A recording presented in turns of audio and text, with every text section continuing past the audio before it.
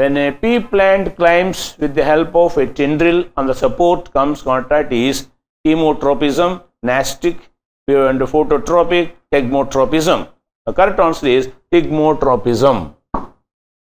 The movements takes place in response to touch are known as the thigmotropism and examples the, the tendrils of passiflora and the tendrils of cucurbits. In such plants, the tip of the tendril is freely moving in the air. Whenever or as soon as it touch a contact, it uh, spins around the support and climb.